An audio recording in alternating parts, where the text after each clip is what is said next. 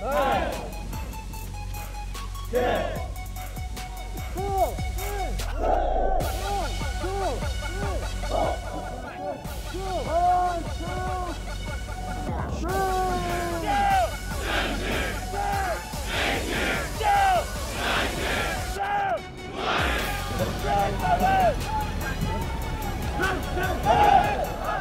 To me, it's important because it's actually one small way that we can actually give back, and, and not necessarily give back, but show a little bit of, I guess, our commitment to to where we come from. The birthday ball, obviously, and the birthday run is is something that has the customs courtesies and obviously a big tradition on, on where we come from and where we are, and it lets us kind of show that we've been around for a good while, and you know, 242 years, and the least we can do is run a, run a little bit.